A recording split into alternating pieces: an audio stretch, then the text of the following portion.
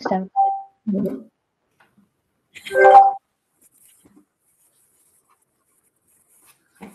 Right. Goedenavond. Ja, goedenavond. Zo, even de haar afzoenen doen.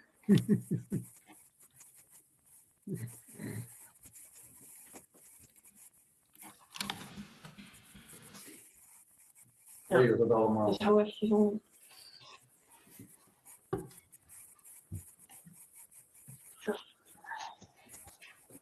En dan moet ik die chat openzetten, toch? Presentator chat openzetten. Nee, die.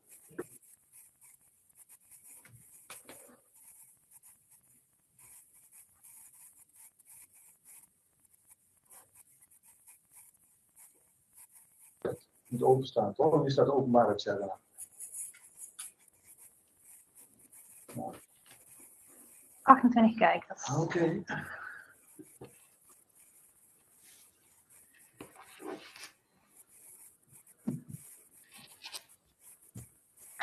Kijk, je ziet daar rechtsboven, zie je?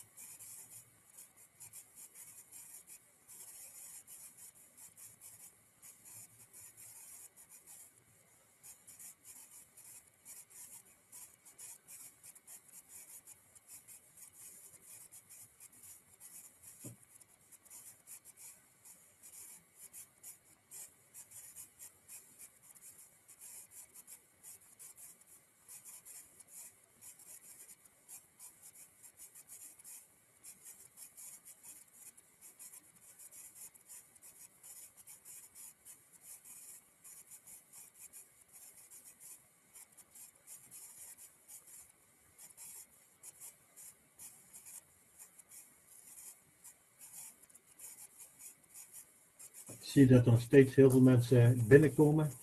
Daar zullen we nog een minuutje op wachten.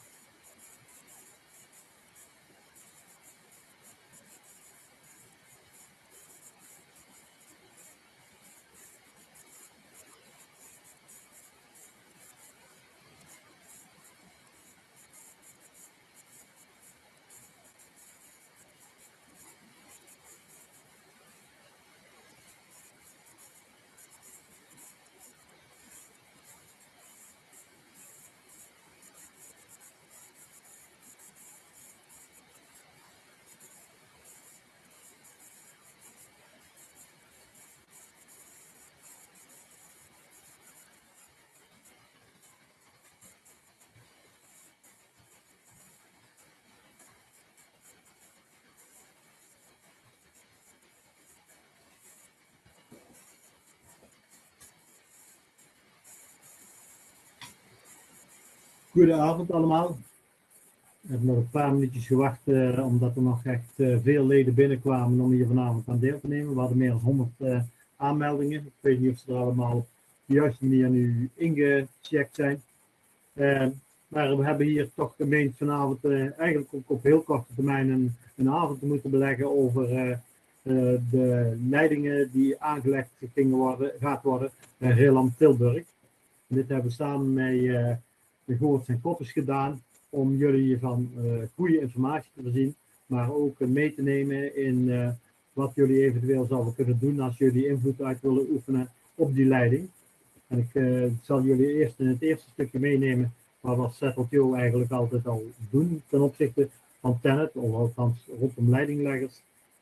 wat er tot nu toe eigenlijk altijd gebeurde. Ook de manier hoe Tennet en, en boeren samen moeten werken. Maar ook vooral om eh, jullie op de rechten te wijzen.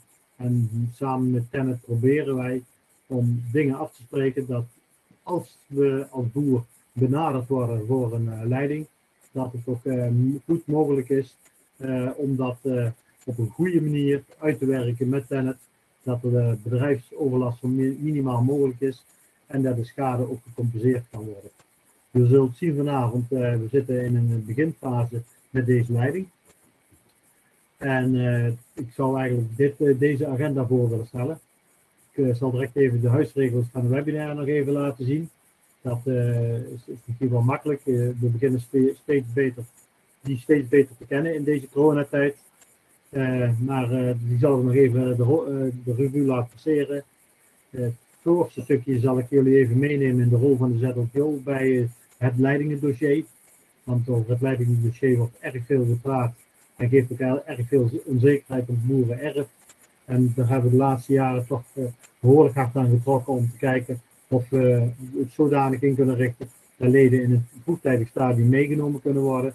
En dat eh, we ook mee eh, in, in, in dat vroegtijdig stadium enerzijds kijken hoe de tracékeuze is, maar ook wat de boer allemaal nog moet doen en waar hij rechten op heeft als hij eh, geconfronteerd wordt met eh, een leiding op, een, op zijn bedrijf. Eh, de chronische vol- volgorde van de belangenbehartiging, wa- op welke momenten gebeurt er wat. Want dat is ook heel veel mensen onzeker. Men komt in een onzekere situatie dat de leiding op een, hun bedrijf komt. Maar ze, mensen die er wat minder mee te maken hebben, weten ook niet waar ze overal nog op moeten letten. Dan komt de presentatie van Voorts en Koppers. Die zal volgens mij Annelies, Irene en Ruud voor de rekening nemen. Dus de, die moeten zelfs drie man van stal halen om dit allemaal eh, goed eh, naar voren te brengen. En dan eh, op het laatst eh, zullen we in de chat eh, laten zien de contactmogelijkheden met Goorts en Kops. Dus eh, op deze manier willen we de avond indelen. Dus als eh, men op een gegeven moment nog een zienswijze in wil dienen, dat zal direct uit de presentatie blijken dat dat nog kan. Dan eh, zorgen we dat contactgegevens op het scherm blijven staan eh, tij- op het einde van de presentatie. En ook op het einde van de presentatie proberen we de vragen zoveel mogelijk te, beantwoorden die in de chat gesteld worden. Eh, liever hadden we dit live gedaan, maar ik denk dat dit toch een goede manier is als we dan toch eh, moeten zorgen dat we contact met jullie hebben om dit eh, op deze manier te doen.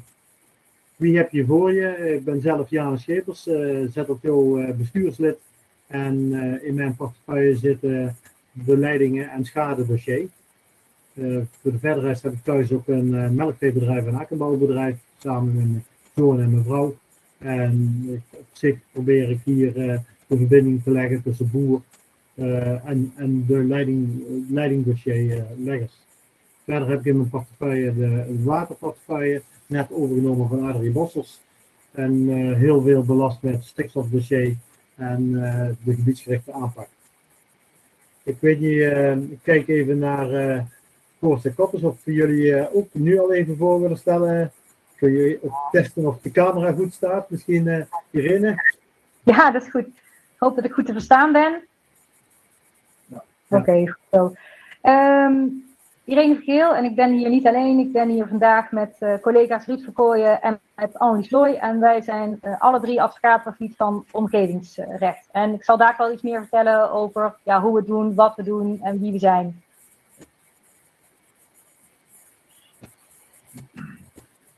Ik zit nog even te kijken hoe jullie het ingedeeld hebben op kantoor, hoe jullie de wissel doen. Of eh, de andere twee zich nu ook al voorstellen. Nee, dat wordt heel spannend. Eh, die zullen dadelijk in één keer verschijnen. Dus dat, eh, ik ga ervan uit dat dat goed komt. Oké. Ehm, als we nu even de huisregels van. eh, ja, ik moet eigenlijk nog iemand meer voorstellen, maar die wil heel bescheiden niks zeggen. Aniek van der Pelt, die helpt ons mee door het webinar om alle vragen goed te beantwoorden. En te zorgen dat wij op de achtergrond geholpen worden in de techniek. Via de chatfunctie aan de rechterzijde kunt u vragen stellen. Eh, in de openbare chatbox. Deze vragen zien alle kijkers en sprekers. Die zal ik als moderator zal ik die proberen door te sluiten naar eh, de mensen van Goort en Koppers of kijken welke vragen door de ZLTO beantwoord moeten worden. Eh, stel de vraag maar meteen als je bij opkomt. Ik zal zorgen dat ze tussen de sprekers door bij de spreker terechtkomen. Uh, chat, de openbare chatpuntje is de twee bolletjes die bo rechtsboven bij jullie gezien kunnen worden. Maar ik heb met binnenkomen al gezien dat heel veel mensen al even gebruik maken van de chat.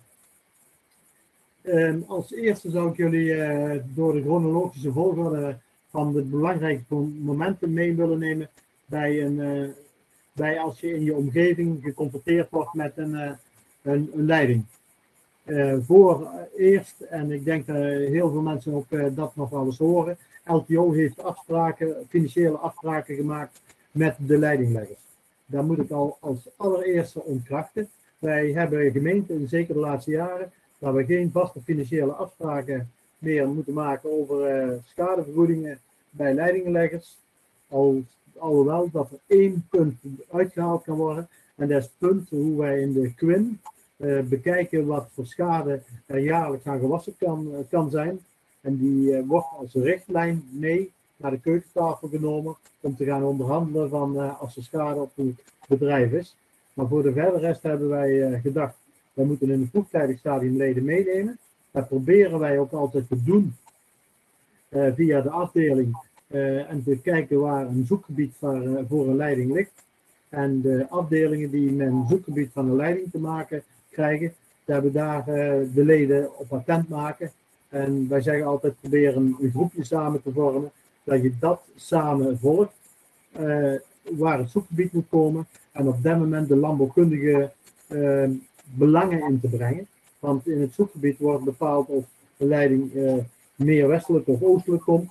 En dan wordt afgewogen van hoe, wat zijn de belangen die daar liggen en welke belangen willen we wel of niet schaden.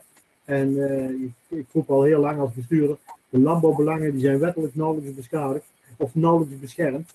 Uh, daar denk ik dat we als belangenbehartiger en als boeren zelf even goed attent op moeten zijn als die leidingkeuze gemaakt wordt. Uh, we zitten nu op dit moment met deze leiding van, van Rilland naar Tilburg in de fase dat er een tracé gekozen is. En op dat moment zeggen wij, als er een tracé gekozen is, dan kun je een keuze gemaakt wordt van het tracé. Dan kun je nog een keer met een officiële zienswijze indienen uh, wat je er als boer van vindt. En op dat moment zijn we aangeland en die zienswijzes kunnen we volgens mij nog 10 of 11 dagen inleveren. Dat zullen we direct horen. En uh, daar hebben we daar ook uh, samen, de samenwerking met Goorts en Koppers opgezocht. Omdat wij denken dat we binnen de ZFO hebben we geen advocaten en wij menen toch dat we moeten faciliteren in wat er moet gebeuren om voldoende inspraak te hebben dat we dat goed doen. Overigens, we hebben als ZLTO al wat langer, of nee, sinds kort beschreven, maar de samenwerking met Goorts en proberen we op die manier in te vullen. Dat op dit moment als er een moet komen bij Goorts en uh, dat ze heel goed kan doen. Verderop in het traject zullen we ook nog te maken gaan krijgen met een zakelijke rechtovereenkomst die er moet zijn. En dan krijg je ook, uh, heb je ook recht, recht op deskundige hulp. En daar zullen onze mensen ook best iets mee kunnen betekenen. Dus die inspraak in die tracékeuze, die is er nu. bij zowel als de tracé er ligt en je wordt benaderd voor in gesprek te gaan voor de leidingen, dan is het denk ik heel erg belangrijk dat je dan ook mee het recht oppakt om een deskundige je te laten begeleiden. waarom een deskundige je laten begeleiden? de deskundigen die weten over het algemeen hebben die vaak met bijltje gehakt. En die kunnen op een juiste manier schade inschatten. Want Tennet die komt ook mee met uh, en met rentmeesters om met je te onderhandelen over de leiding en over de schades die er zijn. En wat voor invloed het heeft op de boerderij op het moment dat die leiding aangelegd moet worden. En ook in de, al die navolgende jaren. Uh, al die navolgende jaren moeten we over schadevergoeding praten. Op het moment dat je aangelegd moet worden, kan er altijd nog wel geschoven worden op, ja, op, op uh, kleine stukjes. Dan past de mast beter een beetje links of een beetje rechts. En dat kun je dan ook in een vroegtijdig stadium en nu ook met de kun je daarop op inspelen.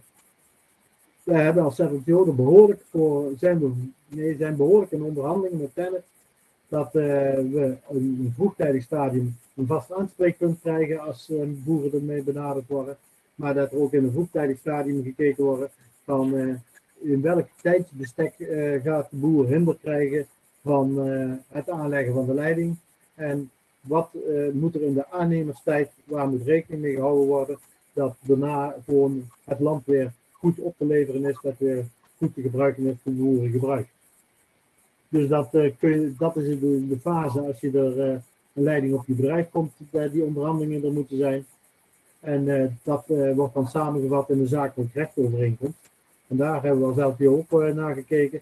Dat we een, een, een, negen zakelijk rechtovereenkomst hebben, maar we hebben daar wel de punten opnoemen die je heel vaak nodig hebt om te behandelen. En ik mag naar de volgende. En dan wil ik het woord geven aan Goort en Koppes, die de inleiding geven over wat, uh, wat nu te doen, nu er een zienswijze in te dienen is. Ja, dankjewel, dankjewel Janus. Dan ga ik even kijken of ik zo mag die sheet nou... Ja, gaat heel goed. Goed, zijn, ik zei net al, ik ben Irene van Keel, ik ben advocaat het gebied van omgevingsrecht. En ik ben hier vandaag niet alleen, ik ben hier vandaag met collega's Ruud Verkooyen en Annie Stoy, die zal het dadelijk het woord geven. We hebben namelijk heel netjes de taken verdeeld. Dankjewel uh, Janus. Wij uh, geven graag een toelichting over het plan 380 KV Rilland Tilburg. Um, nou goed, wij zijn uh, misschien heel kort iets over kantoor. Wij zijn niet alleen Goors en Koppels met z'n drieën. Wij zijn met een heel team van advocaten en medewerkers. we hebben drie vestigingen in Eindhoven, Helmond en Deurne. Um, allemaal specialisten op, met hun eigen vakgebied natuurlijk als, als, als achtergrond. Wij staan met name uh, klanten bij uit de agrarische sector en uit de MKB. Wij staan uit principe en in principe geen overheden bij. Dus dat is wel een belangrijke keuze die wij als kantoor hebben gemaakt. Omdat we, ja, ik denk dat je ons kan beschouwen als een middelgroot advocatenkantoor met een duidelijke specialisme en richting op het gebied van omgevingsrecht en het, het de agrarische sector daarbij. Nou, waarom wij drieën? Nou, goed, misschien heeft Janus het net al aan, aangegeven. Uh, is één advocaat niet genoeg? Nou, wij geloven erin dat het plan zoals het nu ter inzage ligt, is van dusdanige omvang. dat het eigenlijk niet te doen is voor één advocaat om dat, je eentje door te nemen. En sowieso gelet op de grootte van het tracé is dat bijna ondoenlijk. Uh, we hebben als kantoor inmiddels flink wat ervaring opgedaan als het gaat om uh, grotere zaken. Denk bijvoorbeeld aan de A58 waar nu van alles speelt, de N279. Grote bestemmingsplanzaken, denk bijvoorbeeld aan een groot bestemmingsplan buitengebied. Uh, maar ook grote waterwetvergunningen. Goed, dat zijn allemaal vaak procedures die een heel groot geografisch bereik hebben en ook een flinke impact. Uh, en, en daar zullen we daar wel iets over, over vertellen, je hebt maar zes weken de tijd om een plan goed te bestuderen. En in die zes weken moet in principe alles bestudeerd worden. En een plan van, nogmaals, een plan van deze omvang met een MER-rapportage erbij, ja, dat is bijna niet te doen in, in je eentje. En helemaal niet als besloten is vlak voor de kerst het plan ter inzage te leggen, want dat is hier wel besloten. Um, nou, Annelies, Ruud en ik, wij hebben met z'n allen hebben wij het plan alvast uh, goed bestudeerd. Voor een aantal relaties hebben wij ook al zienswijzen opgesteld. En naar aanleiding van wat we zelf al zijn tegengekomen in de praktijk, maar ook wat wij nu in de zienswijze in het besluit al hebben gezien, willen we vanavond het een en ander met jullie doornemen. Nou, het doel van het webinar is dan ook om jullie bij te praten wat valt ons op, wat zijn de mogelijke gevolgen voor het plan voor jullie en welke juridische mogelijkheden heb je op dit moment om iets te zeggen of iets te vinden van het plan. Nou, dan hebben we netjes de taken verdeeld. Uh, we zullen eerst iets vertellen wat het plan precies inhoudt, de rijkwijde van het plan en uh, wat, uh, wat highlights geven wat het plan voor jou zou kunnen betekenen, of wat ons in ieder geval opvalt vanuit de agrarische sector bekeken en hoe uiteindelijk de procedure verder doorloopt. Wat houdt het plan precies in? Ja, het betreft een rijksinpassingsplan. Ja, dat is eigenlijk een bestemmingsplan XXL, zoals, dat, zoals ik dat zelf zo mooi noem. Het gaat om plannen waar uh, dusdanig belangen mee gemoeid zijn dat het Rijk daar, of de minister dus uiteindelijk daar, uh, degene is die, dat, uh, die die beslissing neemt. Um, het betreft een hoogspanningsverbinding tussen Borselen en Tilburg. Dat is opgedeeld in twee delen. En waar wij vanavond voor zitten en waar het plan nu ter inzage ligt, is de Zuidwest 380 kW Oost, van Rilland naar Tilburg. het is een groot, groot geografisch gebied. Ik heb hierna ook een mooi plaatje met ook enkele gemeentes uh, opgezomd, zodat je een beeld hebt waar uiteindelijk die hoogspanningslijn gaat lopen. We zien een gedeelte ondergronds, we zien een gedeelte upgrade van een bestaand uh, tracé en we zien een nieuw tracé naast een bestaand tracé. Nou, je ziet ook geografisch een flink, een flink plan. En als je kijkt op microniveau, dan speel je er per gemeente toch net iets andere aspecten en ook net iets andere afwegingen. Dus daarom is het goed om heel goed kijken wat betekent het plan nou specifiek voor mij. Want een hoogspanningslijn in Tilburg kan een heel andere afweging zijn dan uiteindelijk ook het gedeelte wat, uh, wat in Rilland plaatsvindt. Dan geef ik nu het woord aan mijn collega Ruud Verkooyen en die gaat iets vertellen over de gevolgen van het plan.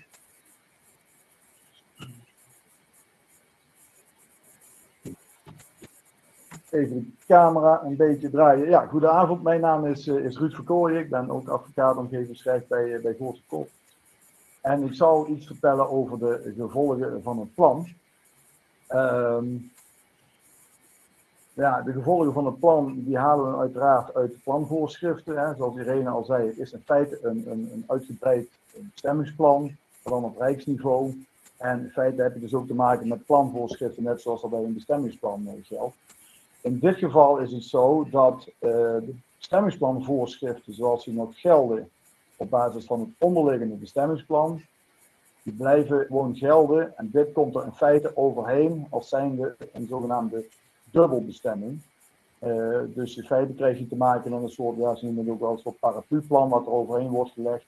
En ja, dat betekent dus in dit geval dat het nadere regels met zich meebrengt ten opzichte van de bestaande bestemmingsplanvoorschriften. Uh, ik zal daar zo meteen even op ingaan wat het allemaal precies uh, betekent aan de hand van planvoorschriften zoals die nu in het plan staan. De gevolgen die zich met name zullen voordoen, en deze voorschriften, daar zal ik dadelijk met name aangeven waar die uitkomen, maar dat kan gevolgen hebben bijvoorbeeld voor de mogelijkheden die het plan, in het stemmingsplan nu kent, naar je kan bouwen, het plaatsen van hagelnetten, drainage, opslag is, is nu voor geregeld, zeg maar, in het kader van dit inpassingsplan. Diepgewortelde beplanting, bedrijfswoning, het zijn allemaal zaken die, zeg maar, uh, geregeld zijn nu in het inpassingsplan, meer restricties met zich meebrengen dan op basis van het vorige bestemmingsplan of het huidige bestemmingsplan is, uh, is toegestaan. Tenminste, in de meeste gevallen. Als we kijken naar de planvoorschriften, ik weet niet of iedereen het goed kan zien, het is vrij klein, maar in ieder geval, dit is een planvoorschrift zoals het er nu in staat in het inpassingsplan. En dat betekent dat alles, zeg maar, wat onder uh, of binnen de begrenzing van, het, uh, van de hoogspanningsleiding ligt, dus niet alleen onder de leiding zelf, maar ook de strook die daar links en rechts van ligt, uh, daar geldt dit voor. En daar zitten toch bepaalde zaken in waarvan ik denk van ja, hè, het aanbrengen van diepwortelende beplanting en bomen, het dieploegen, het, uh, het inbreiden van voorwerpen in de bodem, ja, dat zou dan drainage kunnen zijn. Dat is dus niet per definitie verboden. Maar in vergelijking met hetgeen wat er nu geldt, is het wel aan een vergunningplicht verbonden. Dus je bent wel overgeleverd, zeg maar, uiteindelijk aan een, uh, ja, een bevoegdheid van de gemeente om wel of niet die vergunning te verlenen. En de voorwaarde waar dan naar gekeken wordt, is dat moet worden aangetoond dat de betreffende werken, dus die werken die hier genoemd zijn, die mogen niet strijdig zijn met de belangen en de veiligheid van de hoogspanningsverbinding. Dat is natuurlijk een vrij ruim begrip. En nou ja, vervolgens moet er ook nog een advies worden gevraagd, uh, in dit, geval bij Tenet. Uh, in mijn optiek is het zo dat, en dat geeft ook wel de jurisprudentie aan, dus de rechtspraak, dat op het moment dat je een vergunningplicht in het leven roept, zoals in dit geval, maar je kunt op voorhand al bepalen of die werkzaamheden wel of niet zeg maar, gevolgen hebben voor een hoogspanningsleiding, dan moet je dit niet koppelen aan een vergunningplicht. Dan moet je gewoon rechtstreeks toestaan. En dat is ook een van de punten die wij aan zullen voeren in de zienswijze die wij uh, in ieder geval uh, aan het opstellen zijn. Um, nou ja, waar is het plan te vinden? Wij zoeken, en nou ja, dat kan iedereen, dat is op www.ruimtelijkeplannen.nl. Ik weet niet of mensen daar al ooit op gezocht hebben. Uh, normaal gesproken zoek je dan op je adres. En dan krijg je de plan, het plan en de planvoorschriften krijg je dan zeg maar, op je scherm getoverd. En dan kun je precies zien wat voor bestemming dat er geldt, wat voor bestemmingsplan dat er geldt op jouw locatie. In dit geval, en ik weet niet waarom dat, dat zo is, ik heb het al eens een keer met Tenet, heb ik er al een keer over gemaild en, en ze doen er eigenlijk helemaal niks aan. Maar in dit geval, op het moment dat je je eigen adres intypt bij www.ruimtelijkeplannen.nl en je zoekt dan op adres, dan krijg je niet dit ontwerp inpassingsplan in beeld. Dan krijg je nog het voorbereidingsbesluit. Dat is maar het besluit wat eraan vooraf is gegaan om ervoor te zorgen dat er geen zeg maar, uh, werkzaamheden worden verricht die strijdig zijn met het plan. Dan wordt in feite de bestaande situatie bevroren. Dat was op basis van het voorbereidingsbesluit.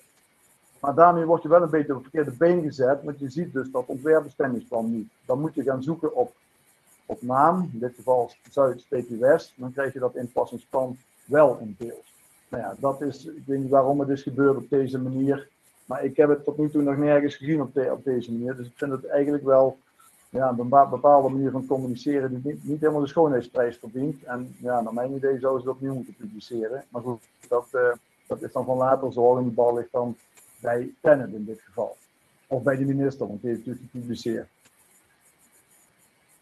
De gevolgen van het plan.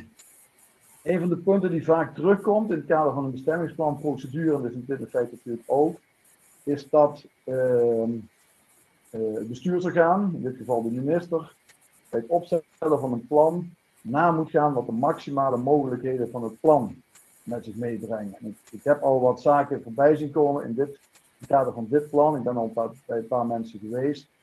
En dan zie je bijvoorbeeld dat, um, dat men kaarten heeft, en die zullen mensen die niet zeg maar, eh, bij deze webinar aanwezig zijn ook wel gekregen hebben, waar een mast staat ingetekend. Um, maar als je kijkt naar het plan, dan staat in het plan zelf, zijn mijn inpassingsplan op de kaart, staat niet eens precies aangegeven waar die mast komt. Dus die kan links, rechts, die kan voor, achter, die kan eigenlijk nog op elke locatie geplaatst worden.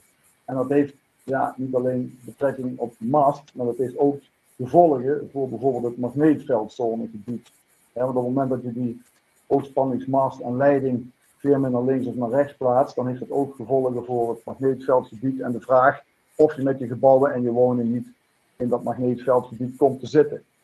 Dus in dit geval is er in mijn optiek zeg maar, te weinig rekening gehouden met de maximale mogelijkheden van het bestemmingsplan.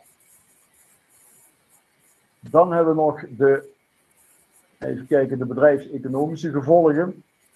Nou ja, dat, uh, ik denk dat voor iedereen wel een beetje bekend is wat, wat een hoogspanningsmast in het perceel doet. Het wordt natuurlijk lastiger bewerkbaar. Je moet met spuiten rekening houden dat je daar met je spuitboom uh, ja, moeilijk langskomt, vaker meer handelingen moet verrichten. Uh, maar ja, ik weet ook wel dat de GPS-verbinding weg kan vallen bij een hoogspanningsleiding. Daarvan zegt Tennet overigens dat dat niet een gevolg is van de spanning van de leiding, maar dat het een gevolg is van de schaduwwerking van de mast. Maar hoe het ook is, uiteindelijk leidt het weer altijd het wegvallen van de GPS-verbinding. En we willen natuurlijk steeds meer naar precisielandbouw, ook in het kader van het uh, gebruik van gewasbeschermingsmiddelen. Daarvoor heb je ook weer, uh, weer, drones nodig om het allemaal in beeld te brengen. Nou ja, er mag niet met drones worden gevlogen onder, onder hoogspanningsleidingen.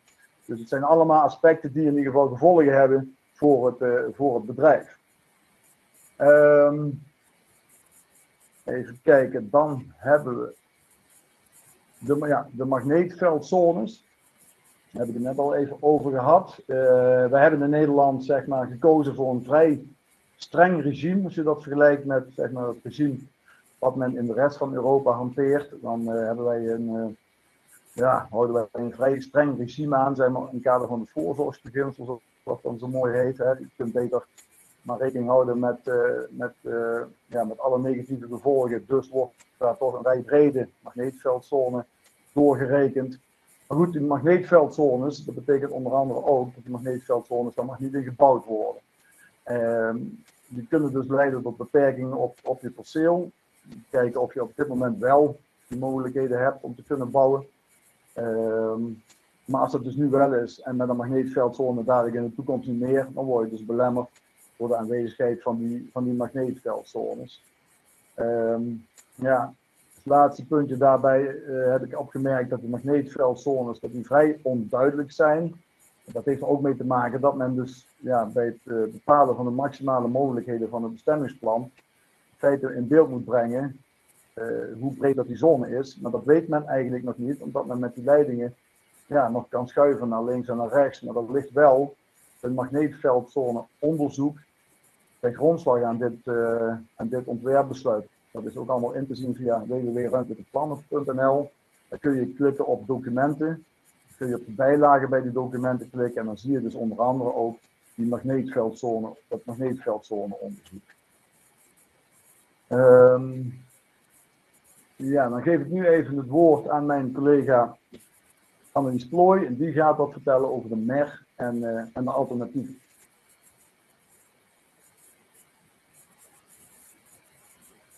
Ja, goedenavond allemaal. Aan mij eh, de eer om nu nog even mee te nemen, ook in twee eh, onderwerpen die wij in ieder geval nou ja, al gevonden hebben in een plan. zoals mijn collega Rene van Geel heeft verteld, ja, zijn we natuurlijk eigenlijk al drukdoende um, ja, geweest, ook met een aantal zienswijzen al. En zitten wij natuurlijk al in die zin al redelijk goed in het plan. Um, en ja, het stukje mer en het alternatieve verhaal, um, maar ook een stukje veiligheid, uh, wil in ieder geval ja, je niet onthouden. Dat neemt niet weg hè, dat onderwerpen die uh, mijn, ja, mijn collega Ruud, Irene en ik bespreken met jullie, uh, dat dan ook gelijk hè, alle onderwerpen zijn. Hè. Dus wat dat betreft is zo'n plan heel breed. Um, ja, en, en lichten wij er een aantal punten die, die voor ons in ieder geval heel opvallend zijn. Um, nou, een stukje meer en alternatieven. Ik denk dat het ook mooi aansluit op hetgeen Janus al een klein beetje ook heeft verteld hè, in een stukje woordtraject. Um, nou, waar moet je dan bij alternatieven aan denken? Nou, bij zo'n ruimtelijk plan is het altijd uh, ook, uh, zie je behalve een mooie kaart waar als het goed is dan alles compleet ingetekend moet staan, hoewel daarbij dus wel wat bedenkingen op hebben. Uh, hoort ook een stukje toelichting. Hè? Als jij een pand inzage legt of als maakt ook niet uit welk overheidsorgaan dat doet, maar als een pand inzage komt, moet daar ook wel een gedegen ja, belangenafweging en onderbouwing ten grondslag aan zijn. En een van die aspecten waar wij dan als advocaten ook vaak keen op zijn om heel goed te kijken naar ja, um, wat voor alternatieven zijn er dan onderzocht? Hè? Van, uh, in zeker in het kader van een zorgvuldig ruimtegebruik, wat je altijd wel een soort rode lijn terugziet in, in, in planvormingen, uh, waarop toch ja, een zorgvuldigheid moet plaatsvinden uh, zijn dat wel belangrijke aspecten die wij altijd ook meenemen om dat te beoordelen. Hè, wat, wat, is nou onderzocht naar alternatieven? Nou, heel concreet als we dan kijken naar zo'n ruimteinpassingsplan voor zo'n hoogspanningslijn, dan, is, ja, dan, dan hoor ook ja, rekening te houden met bepaalde placeringsprincipes. En over het algemeen gaat zo'n toelichting in zo'n plan daar ook op in. Um, daar gaan we natuurlijk heel zorgvuldig naar kijken van ja, klopt dat dan wel, wat er gesteld wordt? Er wordt ook wel vaak verwezen naar bepaald beleid of een bepaalde uh, ja, beleid van Rijk, maar ook ja, beleid waarvan Tennet zegt dat zij dat als beleid hanteren. Nou, daar moeten we altijd heel kritisch op zijn, inderdaad. Van ja, klopt dat wel? Is de onderbouwing voldoende? Is er rekening gehouden met mogelijke andere alternatieven? Dus heel concrete. Um, ja, een van de placeringsprincipes is bijvoorbeeld ook dat je probeert te voorkomen. Dat is in ieder geval iets wat ook in ieder geval voortkomt uit de jurisprudentie dat bijvoorbeeld een traceringsprincipe kan zijn dat je in ieder geval probeert te voorkomen dat agrarische percelen op, een onredelijke manier worden doorsneden, uh, ja, een doorsnijding plaatsvindt van een agrarisch perceel. Dus wat je dan inderdaad heel concreet krijgt als, als daarvan, is dat zo'n hoogspanningslijn als even kan natuurlijk aan de rand van het perceel wordt gesitueerd, zodat dat eigenlijk zorgt voor de, minst, ja, voor de minste overlast. Um, maar denk bijvoorbeeld ook breder, hè, want dat zien we in ieder geval ook uh, steeds meer gebeuren. Een goed voorbeeld is bijvoorbeeld, uh, dat weet ik in ieder geval een aantal jaar geleden, dat was toen heel vrij nieuw. Bij Midden-Delfland is inderdaad een van de hoogspanningslijnen ook onder de grond gegaan. Nou is dat voor de 380-lijnen is het nog best wel spannend, maar ook daar zie je steeds meer dat er wel meer kan. om de simpele reden dat er steeds een onderzoek gedaan is hè, om, zo'n lijn ook te kunnen verkoelen en dat soort zaken. Uh, dus ja, zo'n ondergronds stukje, ja, dat is misschien ook iets wat misschien toch overwogen kan worden. En ja, ook dat zou bijvoorbeeld een, ook een alternatief kunnen zijn. Dus heel kort en goed, die alternatieven spelen altijd op de achtergrond bij zo'n ruimtelijk een hele bijzondere rol. En een andere belangrijke rol is inderdaad ook het stukje, en dat zie je, hè, alternatief wordt vaak ook meegenomen in de milieueffectrapportage. Op zich gaat die milieueffectrapportage ook wel op meer aspecten in. Maar ook een van die dingen is daar dus inderdaad het stukje alternatieven. Nou, en daar is zo'n zienswijze hè, voor indienen, want dat is ook iets wat wij in ieder geval vaak meegeven. Het moment als een plan te inzage komt, is vaak nog het moment om waar het even kan in ieder geval je mening kenbaar te maken. En als, en als je ziet van ja, kan dat dan niet anders, dat in ieder geval zo concreet mogelijk uh, aan te geven. Uh, van ja, uh, ik, wij, denken dat, hè, wij denken dat het anders kan, beter kan. Uh, en dat je inderdaad dan ook aangeeft van ja, wij dragen dit alternatief aan. Dat zou voor ons ja, min, minder bezwarend zijn. En dan kan dat ook worden meegenomen in het traject opvolgend uh, in die zin. En daar moeten ze ook rekening houden. Hè. Ze kunnen niet zomaar over de zienswijze heen stappen. Als jij een zienswijze indient, zullen ze inderdaad er ook een gedegen belangafweging en daar ook ja, op in moeten gaan op het aangedragen alternatief. Um, dus die alternatief is wel belangrijk, even als de MER, zeg maar. Uh, nou, dan een stukje externe veiligheid. Want we merken in de praktijk toch wel dat ook het stukje veiligheid steeds wel meer ook, uh, ja, een prominente rol uh, krijgt. En we zien dat ook al gebeuren in omgevingswet, waarbij je eigenlijk ziet dat veiligheid steeds meer ja, naar de voorkant verschuift, dat steeds eerder in beeld moet, uh, moet worden gebracht wat er nou zit met veiligheid. En ik kan mij voorstellen, zeker als, als er agrarische percelen zijn waar ook op een bedrijfswoning gesitueerd is, want ja, dan is dat ook zelfs nog een stukje wonen-leefklimaat van jou, behalve dat je natuurlijk die agrarische bedrijfsvoering daarop hebt ja, dan is het natuurlijk ook wel prettig um, als dat dan ook zorgvuldig de externe veiligheid goed in kaart heeft gebracht. Nou, wat is dan externe veiligheid? Ja, dat heeft dan eigenlijk dus te maken, ik heb dat ja, heel kort even op de sheet neergezet, wat dat dan concreet betekent. Ja, dan moet je dus inderdaad vooral denken op het voorkomen van schade letsel aan de omgeving door incident, incident, en calamiteiten. Dat is even kort de definitie dan van externe veiligheid. Heel, heel simpel samengevat risico's in de omgeving van mensen. Nou, hoogspanningsmasten, geldt dan altijd bij ruimtelijke plannen een soort indirect risico. Um, want ja, je kan je voorstellen als zo'n hoogspanningsmast ergens wordt gesitueerd. Um, ja, en ja, het ding, heel simpel gezegd, zou omvallen. Hè? Dus vandaar ook de zaakjes het valrisico. Ja, dan zou dat zomaar bepaalde risico's met zich kunnen meebrengen. Zeker als bijvoorbeeld, en daar is het vaak de discussie ook, als er bijvoorbeeld al buisleidingen onder de grond lopen, of een andere mast of een ander object in de buurt staat, ja, dan kan dat best uiteindelijk zorgen, ja, een zorg opleveren van ja, als, als, als, als die hoogspanningsmast valt, hè, uh, wat voor gevolgen heeft het dan? En dat moet wel goed in beeld worden gebracht. En we zien dus heel concreet op dit moment in dat plan dat daar een globale beoordeling op heeft plaatsgevonden. En ze onderkennen ook, nou, het is inderdaad een belangrijk aspect dat we moeten meenemen. Maar een echte zuivere, concrete onderbouwing, hè, dus dat echt heel concrete adressen zijn onderzocht die allemaal in de buurt liggen van deze hoogspanningslijn ja, die zien we eigenlijk niet terug. En dat is dus wel ook een, uh, een aspect dat we ook zeker willen uh, benoemen ook in, uh, ja, in die zienswijze. Dat dat in ieder geval op dit moment in, ons, in onze ogen eigenlijk nog niet zorgvuldig genoeg is. En dat eigenlijk op dat aspect dus ook nog geen gedegen belangenafweging en ja, zorgvuldige onderbouwing dus heeft plaatsgevonden. Dus ook dat zijn nog even twee ja, bouwstenen van zo'n zienswijze waar we in ieder geval ook nog op willen inhaken. Ten meer dat we gewoon ja, ook zitten vaak met een hè, die behalve daar een te hebben, ook nog een bedrijfswoning in de buurt hebben. Uh, los ook even dat het voor de agrarische fonds natuurlijk ook nog risico's kunnen op zijn. Maar zeker als je ook nog in de buurt woonachtig bent bij zo'n mast, ja, dan, dan, kunnen we ons heel goed voorstellen dat zo'n aspect ook wel uh, ja, van belang is. Dus vandaar dat we ook al eventjes uh, altijd aandacht besteden aan dit aspect. Ehm. Dan iets heel kort over de mogelijkheden voor schadevergoeding. Het derde onderwerp.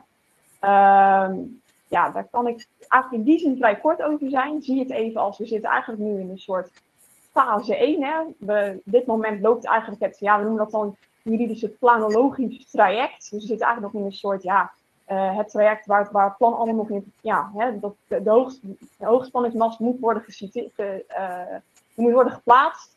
En ja, als dat allemaal geregeld is, en er ligt straks ook echt een plan verder en die wordt definitief vastgesteld, ja, dan komt natuurlijk ook eigenlijk in fase 2 om de hoek heen kijken. Want ja, linksom of rechtsom, um, ja, het plan eigenlijk in de, in de prullenbak wordt natuurlijk heel, in die zin proberen we daar natuurlijk de, de, onderste, uit de kan zeg maar, te halen.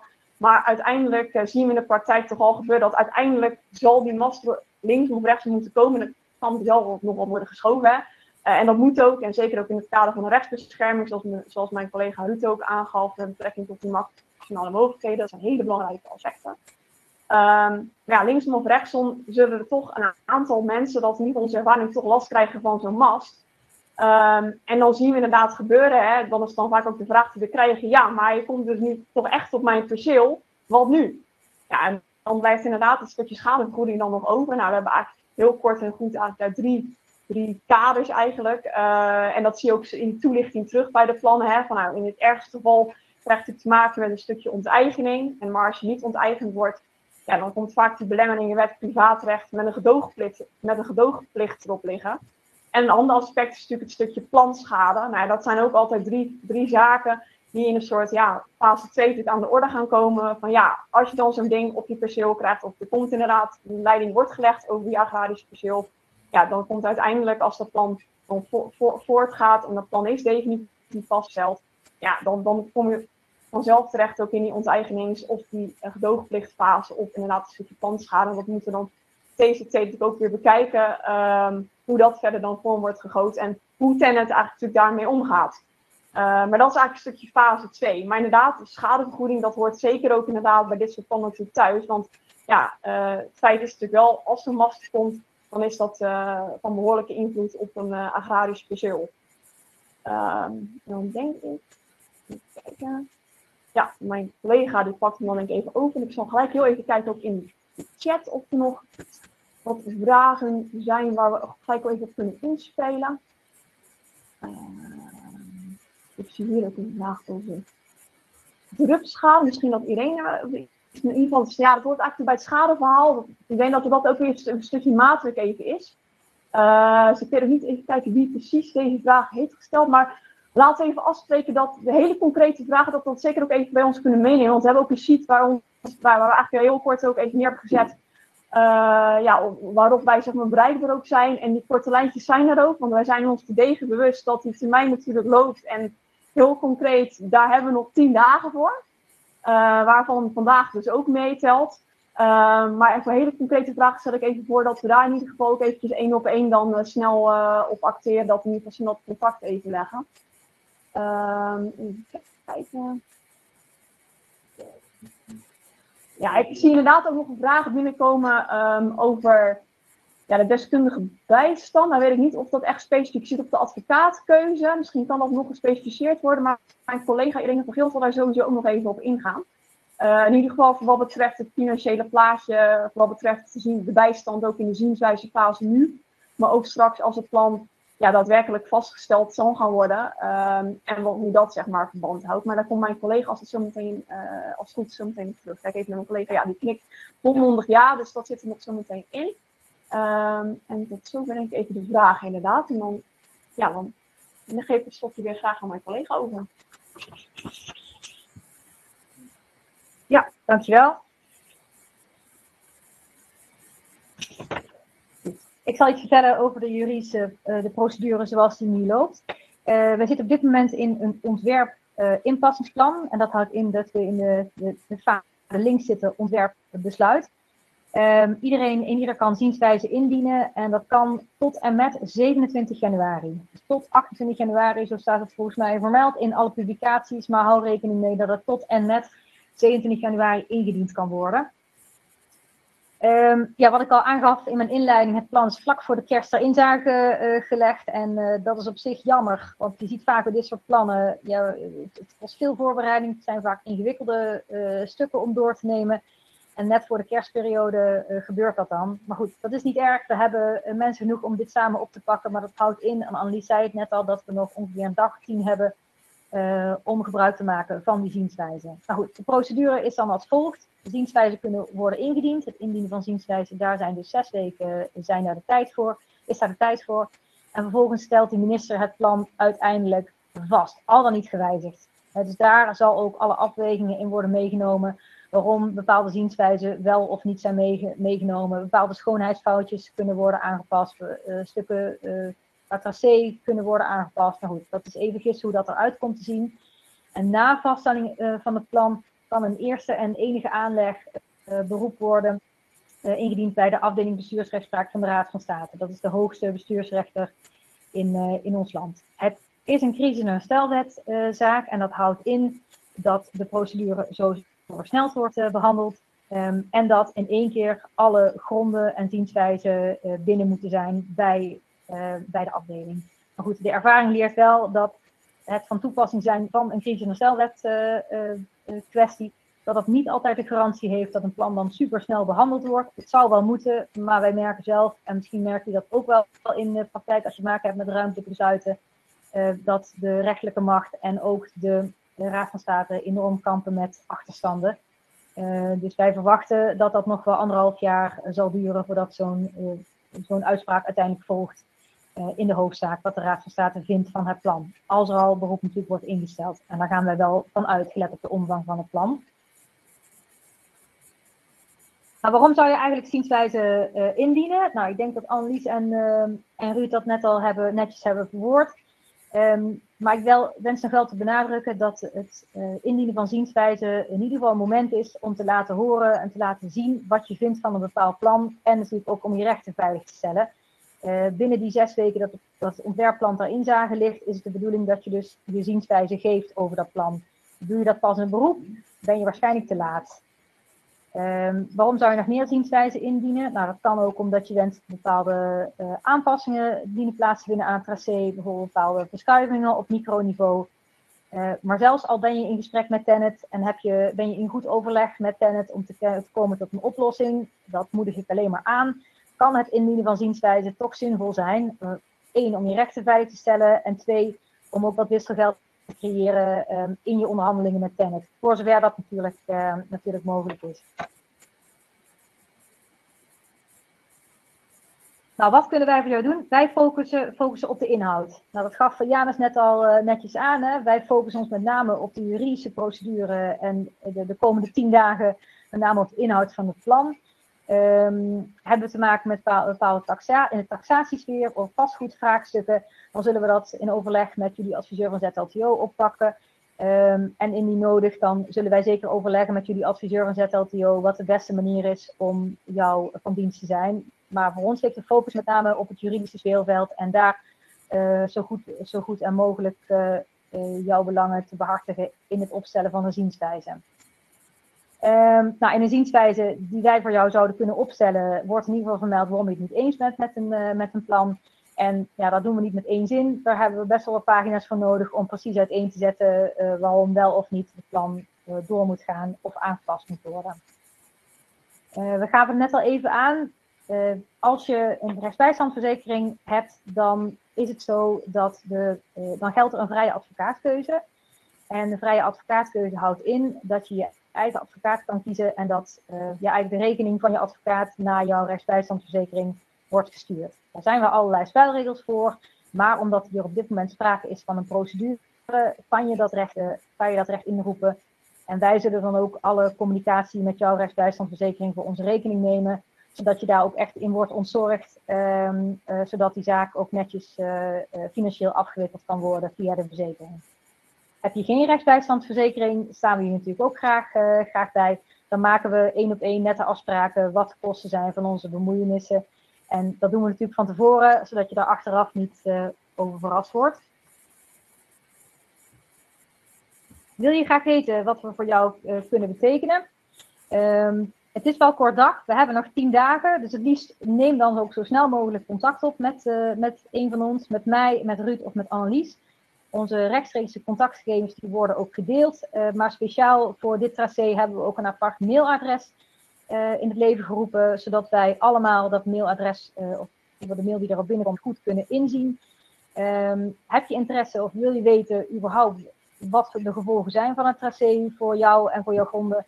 neem gerust contact op, contact op. En het eerste contact is ja, heel kosteloos. Ik zou zeggen, maak daar in ieder geval gebruik van dan kunnen wij in ieder geval op hoofdlijn al aangeven waar pijnpunten zouden kunnen zitten op jouw locatie. Um, omdat we uh, toch tegen de tijd aan het, uh, aan het, uh, aan het hikken zijn, de tien dagen die we nu nog hebben, verzoek ook als je daar interesse in hebt om dat zo snel mogelijk in, in gang te zetten. We hebben ook voor onszelf een, een, een afspraak gemaakt dat als je op kantooruren contact opneemt met ons kantoor, dat je binnen twee uur iets van ons hoort zodat wij ook uh, ja, ons dwingen de vaart erin te houden. En dat moet ook wel, want als we nog een pen klimmen voor, uh, voor, in ieder, voor het opstellen van zienswijzen, dan hebben we de komende tien dagen uh, hard nodig. Um, ik denk dat dit nu het einde is van ons gedeelte. Ik kijk even of er nog vragen zijn, dan moet ik even naar rechts kijken.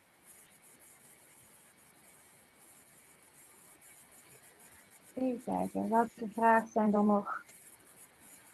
Ja, de laatste, denk ik. Dat klopt. Ja. Onze lijn Ja. Eh, we krijgen hier een vraag eh, of de ondergrondse eh, 150 kV-lijn nabij het begin Rilland ook bij de huidige procedure hoort. Ja, dat is het, eh, eh, ja, het, het stukje het meest eh, westelijk van het tracé. Nog een goede vraag van een van de deelnemers. Moet je nu ook al definitief reageren op de precieze plaats van de mast? Die kan toch ook nog wijzigen eh, als ze op andere plaatsen weer gaan schuiven? Ja, dat klopt. En eh, collega Ruud gaf het al even aan. Het lastige is van eh, deze procedure, of in ieder geval de, een van de opmerkingen die wij hebben ten aanzien van het tracé, is dat de hoogspanningslijn vrij breed is gesitueerd. En er zijn allerlei mooie filmpjes zelfs en foto's te zien waarop je de feitelijke situatie naar de toekomst toe zou kunnen zien, volgens Tenet in ieder geval.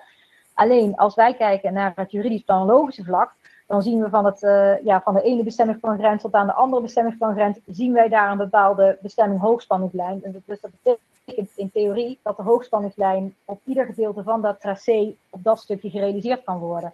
En dat is een van de punten in het kader van de rechtszekerheid, uh, waar wij aanknopingspunten zien uh, als jij dicht bij een mast of geval daarmee te maken heeft om daar iets van te vinden. Want er is ook jurisprudentie, er zijn uitspraken van, uh, van rechters die aangeven dat juist in het kader van de rechtszekerheid uh, jij als agrariër, als, als, als eigenaar van die gronden, uh, er ook recht op hebt om te weten waar die masten precies komen. Zodat vanuit daar ook alle onderzoeken gedaan kunnen, kunnen worden.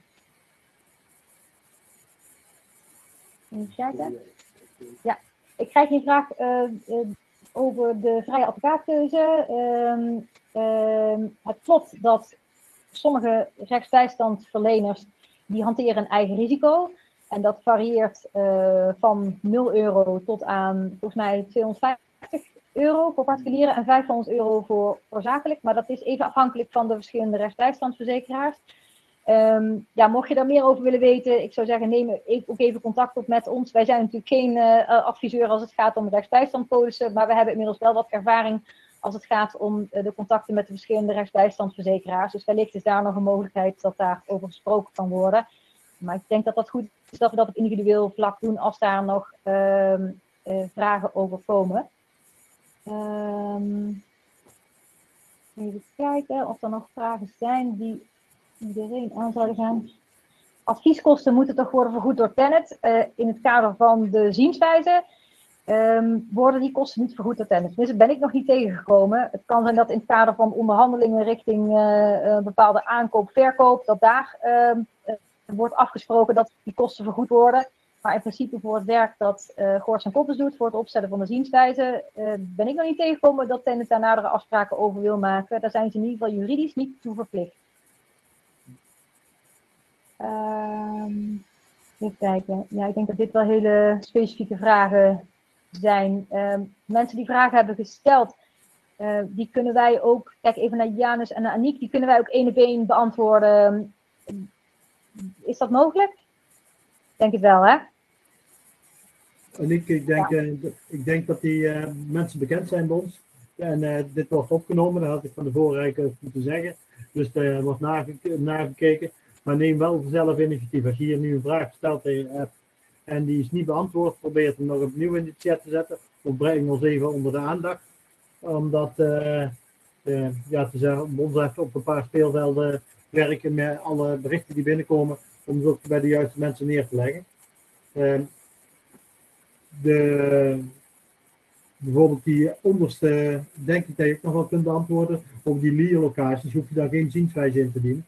Ik denk als, maar ik laat liever de Goortse koppers even beantwoorden, maar die vraag, zit nu ook in, de, in jullie chat? Ja, misschien wacht. Ruud, ja. Ruud is allemaal aan het zijn aan mij, dus die geef ik even het woord. Ja, nou, ik zag die vraag staan en het, ja, dus natuurlijk, kijk, als het alleen maar een lierlocatie is, dan kan ik me voorstellen dat je dan inderdaad zegt, nou ja, het is een tijdelijk iets, uh, dan hoef ik niet per se een zienswijze te dienen, maar als het een, uh, een, een uiteindelijk een, een, een, situatie blijft waarbij je toch permanent last van gaat blijven houden, ja, dan zou ik nu wel een zienswijze indienen en kijken of je dan niet het op een andere manier geregeld kunt krijgen. Dus, uh, maar goed, dat, dat, ja, dat ligt een beetje aan, aan hoe het wordt ingericht in het plan, zeg maar. Dan zouden we naar het plan moeten kijken voor die locatie. Uh, ik zie ook, uh, Tenet is ook opdrachtgever van tracé Rieland, worden bijvoorbeeld zienswijze en ervaringen gedeeld. Ja, dat is zo, zeg maar. Voor dat eerste deel hebben we natuurlijk ook wel, uh, wij zaten wij niet in dat traject, dat moet ik erbij zeggen. Maar op zich kun je natuurlijk wel aan de hand van het inpassingsplan wat daar zeg maar, gespeeld heeft, kun je ook de onderliggende stukken binnenhalen. En dan kun je dus ook daar de informatie die daar te verkrijgen is, kun je ook via ruimtelijke plannen gebruiken in, in dit traject. Kun je in de zienswijze aangeven dat het tracé Natuur 2000 gebied loopt, is dit niet wenselijk verband met bescherming van de natuur? Ja, dat kan, wordt, die vraag wordt gesteld. Daarbij moet ik wel opmerken dat als het gaat over Natura 2000 gebieden, hè, dus aangewezen gebieden in het kader van de of vogelrichtlijn, dan kun je als derde belanghebbende, of in ieder geval als belanghebbende die daar uh, iets van gaat vinden, wordt dat wel redelijk lastig. Want dan ga je eigenlijk als uh, belanghebbende, uh, ja, moet dat netjes zeggen, druk maken op een, over een algemeen belang. Daarvan zegt de Raad van State, dat gaat eigenlijk niet. Of je moet mede-eigenaar zijn van een, van een perceel in dat Natura 2000 gebied. Of op hele korte afstand van zo'n Natura 2000 gebied liggen. Dus je kunt daar wel wat van vinden. In het kader van de zienswijze is dat sowieso mogelijk. Maar als je er mee verder wil gaan, dan gaat dat, uh, gaat dat niet slagen. Uh, even kijken, uh, wat hadden we dan nog meer? Precies, wat ondergronds. ik ben even die vragen door aan kijken of er nog dingen zijn die we nu ook kunnen beantwoorden. Als de 150 kV-lijn wordt vervangen door een nieuwe 380-lijn, heeft Tennet dan meer rechten omdat er al een zakelijk recht op ligt? Dat zou kunnen, maar dan moeten we kijken welk, ja, wat er zeg maar, in dat zakelijk recht, wat er nu geldt, of dat ook uh, ja, ziet op de mogelijkheden van een 380 kV-lijn. Uh, het is natuurlijk wel zo dat, ja, mocht daar discussie over ontstaan, dat Tenet wel een punt heeft als ze zeggen, ja, we hebben al belemmeringen erop gelegd. Uh, dus dit zal wellicht iets minder impact hebben dan bij een situatie waar geen zakelijk recht gevestigd was voor, voor een bestaande lijn. Dan wordt er nog gevraagd, wordt er rekening gehouden met een magnetisch veld ten opzichte van de mens? Dat magnetisch veld daar wordt er rekening gehouden met een gevoelige bestemming, wordt het dan genoemd, gevoelig object. Uh, en dat is in dit geval niet alleen de woning, maar dat is ook de tuin. Dus er wordt niet specifiek gekeken ja, naar de mens, want, maar er wordt wel gekeken naar de bestemming. En dus, dus de woning en de tuin. Uh, daar kun je nog van mening over verschillen. Je kunt ook zeggen, nou, op het moment dat ik bijvoorbeeld uh, eigenlijk de meeste tijd in mijn stal doorbreng, ik zeg maar iets van een ander bedrijfsgebouw, dan zou je ook kunnen zeggen, dan moet dat ook als gevoelige bestemming worden aangeduid. Uh, bij sommige uh, milieucomponenten is dat heel duidelijk of dat wel of niet is. Bijvoorbeeld bij geur, bij veehouderijen is dat eigenlijk wel uitgemaakt, maar ook daar kun je op een gegeven moment zeggen van, hè, daar is jurisprudentie over. Als je te maken hebt met een, met een werkplaats, bijvoorbeeld waar toch wel elke dag uh, een aantal uren per dag een aantal mensen verblijven, dan wordt dat ook als een gevoelig object gezien. In ieder geval is nu, in het kader van dit verhaal, gesteld voor Tenet dat uh, bedrijfsgebouwen geen gevoelige objecten zijn. Maar daar kun je, daar kun je van mening over verschillen, want het is niet namelijk bij wet geregeld. Even kijken, er wordt nog gezegd, op dit moment lopen de geplande masten niet in de pas. Als ze wel in de pas zouden lopen, komen er alleen tussen Geertruidenberg en Hoge Zwaluwe al twee masten minder. Hoe denken jullie hierover? Nou ja, ik denk dat dat een terecht punt is. Want je ziet alleen, niet alleen bij die masten, maar je ziet het ook bijvoorbeeld bij, bij windturbines. Uh, men wil toch ook qua landschap dat het zoveel mogelijk met elkaar in pas loopt. Dus ja, ik kan me voorstellen dat dat een, een, een steekhoudend argument is om daar in ieder geval bij de zienswijze uh, op te wijzen. Even kijken, ja, die deskundige bijstand hebben we genoemd. Uh, ja, dan denk ik dat we dat wel, die vragen, als er niks bij is gekomen, ja, zoveel mogelijk beantwoord hebben. Ja, ja ik wou misschien nog eventjes uh, terugkomen Ruud, op uh, die lierlocatie. Ik denk als er een lierlocatie is op je bedrijf, dan ben je al aan het onderhandelen op, uh, op bedrijf van min zakelijk recht overeenkomt. Dan, ja.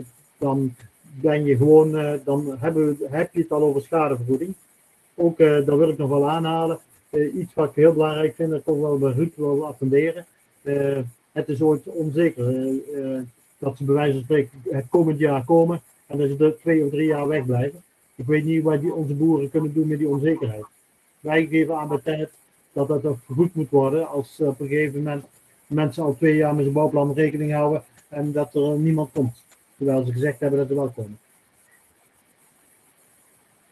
Uh, dus, ja, ja, dat is in feite, ja, dat, dat noemen ze dan ook wel een beetje de, de schaduwschade, zeg maar. Je ziet dat ook bij, uh, bij, bij uitkoopprojecten. Ik ben nu bij mensen geweest en, en daar, en dat, dat, dat wil ik nog wel even opmerken, dat vind ik erg vreemd. Er zijn situaties bij waarbij zeg maar, de leiding gewoon bijvoorbeeld over de woning heen loopt. En dan staat er in dat rapport van het magneetveldonderzoek dat er geen reden is om die mensen uit te kopen. Er staat wel bij bijvoorbeeld, we gaan een maatwerkoplossing zoeken. Ja, op het moment dat je dat natuurlijk hebt en je, en je denkt van ja, ik, ik, moet, uh, ik wil in, allerhande investeringen doen, bijvoorbeeld in de woning, en ik hou die onzekerheid, ja, dan zou je dus uh, eigenlijk afzien van, van het doen van investeringen. Maar naar mijn idee is het zo dat bij in, het kader van jurisprudentie uh, wordt daar niet heel veel mee gedaan met die, dat als je zeg maar die investeringen niet doet, dat je later dan wordt, en je zegt van ja, maar ik heb stilgestaan, ik heb bijvoorbeeld als het gaat om een woning, hè, om een, voor, een simpel voorbeeld te pakken.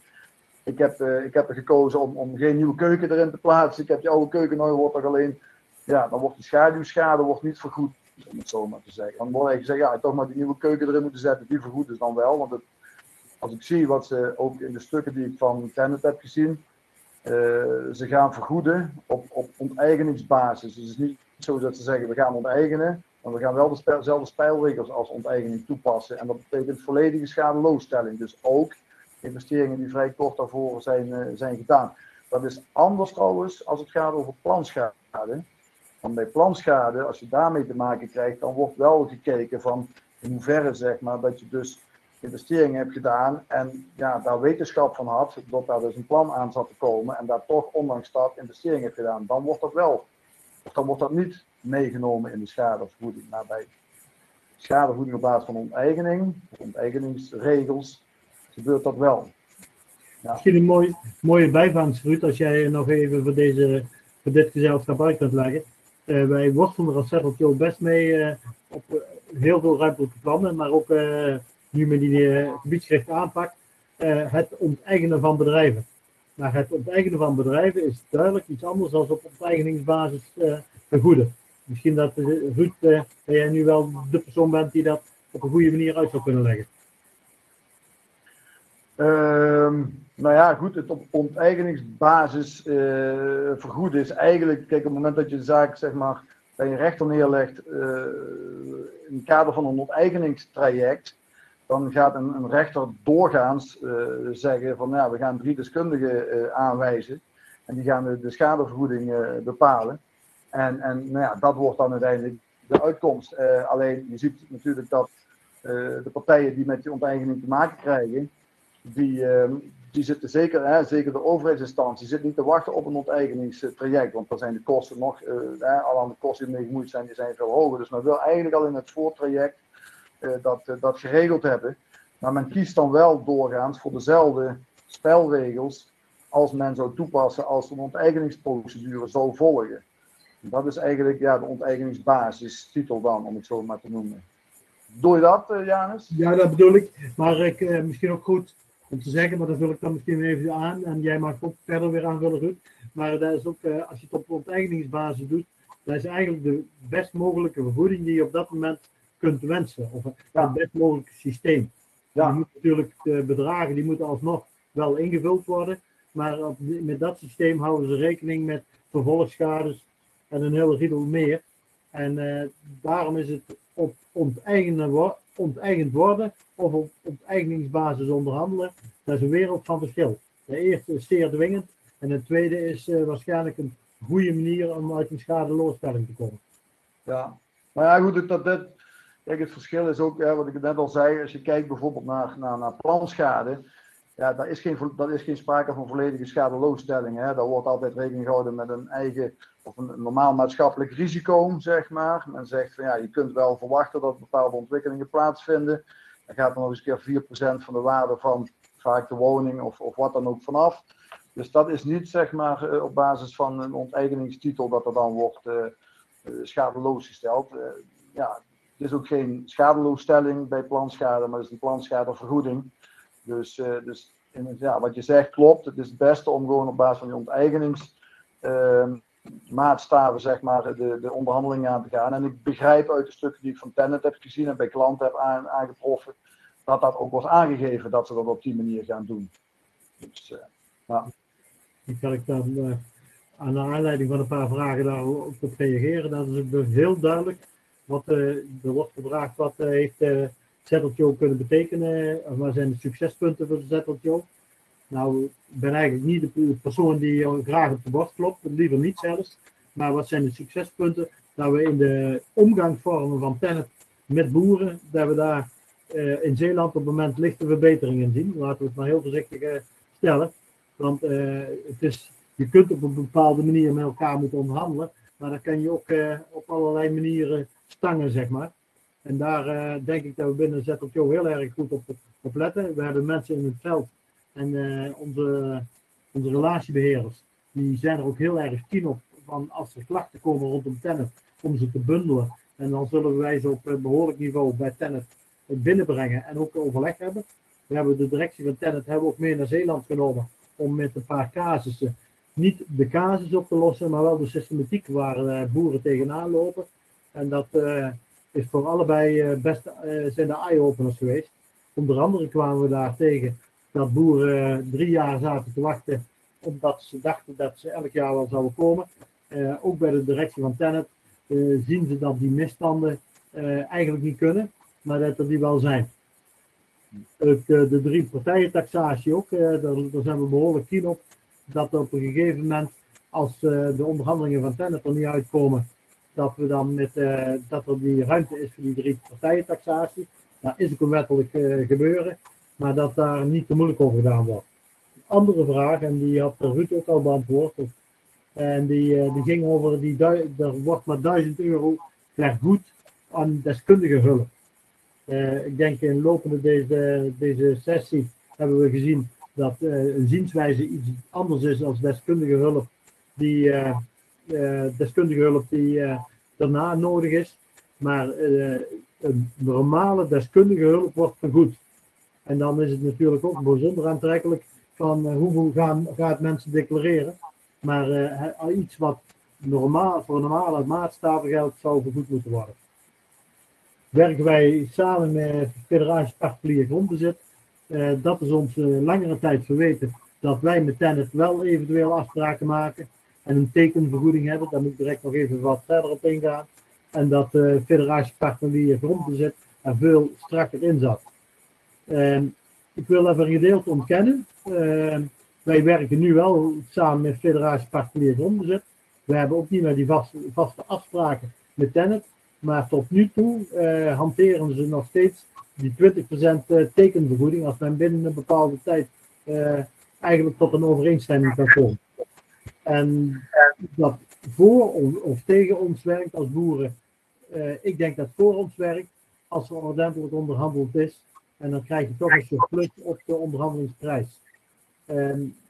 Er wordt ook ooit tegen ons gezegd dat het misbruikt wordt omdat er gedwongen wordt om te tekenen wij staan er achter als ZLDO dat uh, goed onderhandeld moet worden, eerlijke prijzen moeten zijn en alle dingen die nu, uh, nu voor het sector is opnoemd, schades die kunnen optreden, die moeten benoemd mogen worden. En dan moet naar gekeken worden als ze op gaan treden, wanneer ze optreden. Er is een, een, een, een nazorg belangrijk, ook daar attenderen wij heel erg op. Er is een nazorg van vele jaren nodig als men leidingen legt en er komen verzakkingen, uh, ja, welke soort nazorg er ook is, die moet door Tennet gewoon vergoed worden. Een ander punt dat wij bezig, waar ons nog bezighoudt, maar nog niet tot, nog, nog niet tot effect, dat vraagt ook even nog wat meer. Overeenkomsten die je met Tennet aangaat voor leidingen van openbaar nut, die zijn voor onbepaalde tijd. En Ruud, corrigeer me als ik het niet helemaal goed uitleg. Uh, die zijn voor onbepaalde tijd. Wij vinden dat niet meer van deze tijd dat je voor onbepaalde tijd een uh, overeenkomst aangaat, maar dat die na een bepaalde tijd herzien wordt. Daar hebben we discussie over, daar hebben we ook wel gesprekken over.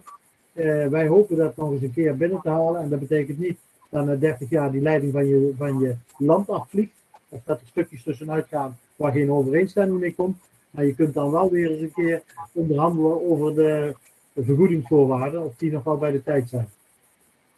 Een andere die ook heel erg speelt bij ons, en dat betekent de samenwerking die we ook in LPO Nederland hebben, als bijvoorbeeld Google een leiding, een koelleiding aan moet leggen over het land, dan klagen boeren niet. Dan mag ik nog niet zeggen dat ze te goed betalen, maar dan klagen boeren niet. Als de leidingen aangelegd moeten worden voor openbare, voor nut, dan zijn de onderhandelingen best taai en dan zijn de vergoedingen wel afgewogen die betaald gaan worden.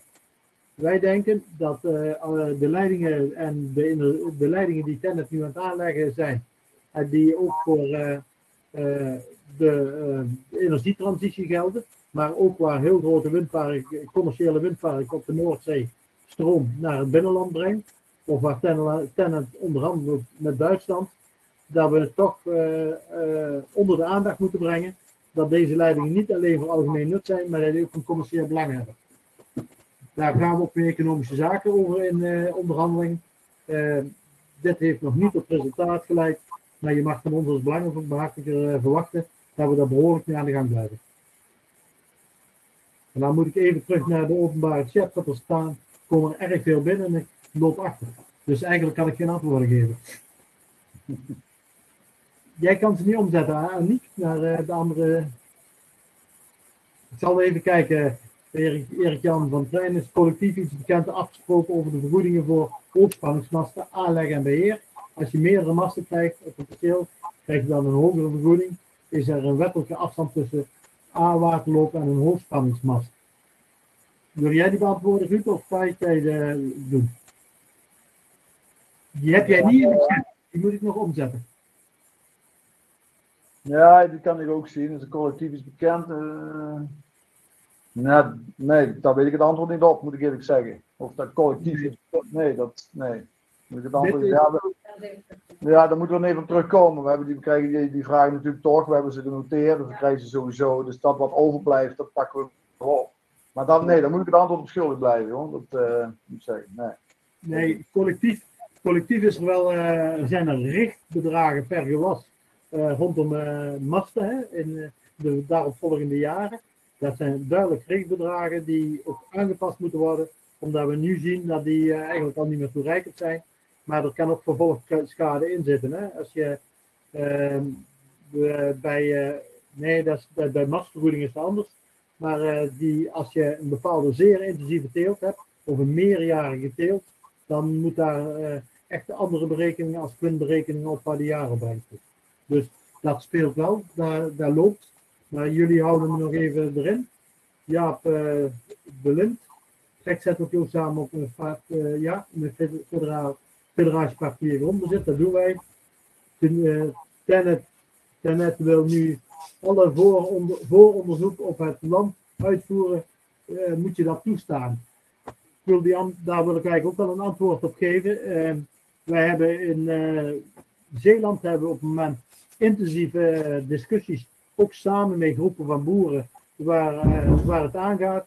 En in Zeeland speelt met name de zoetwatervoorziening heel erg. En de zoetwatervoorziening, dat betekent van zoetwaterbellen en kreken, zoetwaterkreken in de grond, die van essentieel belang zijn voor de bedrijven. En daar zijn wij nu met Tennet bezig, dat er eigenlijk gemonitord moet worden op een nulsituatie. En dat ook eigenlijk bijna een jaar van tevoren dan ook uh, gemonitord kan worden. Daar heb ik samen met onze relatiebeheerders afgesproken om in de, in de bijeenkomst die ze samen hebben, om toch te kijken om die pijlbuizen uh, daar wel ten toe te laten op het land. Om die nulmeting ook in een vroegtijdig stadium te kunnen gaan doen. Daar gaan we met Tennet ook over praten. En dat betekent ook geen grote ingreep op je land. Maar dat betekent dat je samen dan ook beter op kan trekken rondom dat zoetwater gebeuren op de waterhuishouding. Als, uh, betekent niet dat ze zomaar over het land moeten lopen. Dat betekent ook gewoon dat ze daar jou van in kennis moeten stellen. Als ze meer onderzoek op het land willen doen, dan maak je er wel of geen afspraken op. Alleen maar tegenhouden is volgens mij niet de beste manier om samen goed te onderhandelen. Uh, waarbij ik niet zeg dat je alles weg moet geven hoor, maar uh, probeer er samen wel uit te komen.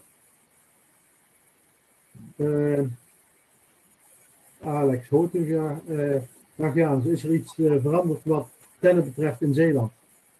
Ja, Alex, jou zie ik, ze, ze hebben beterschap beloofd. Het lijkt niet zo te zijn. Het is een hele grote oceaanstomer. Maar we trekken er wel aan.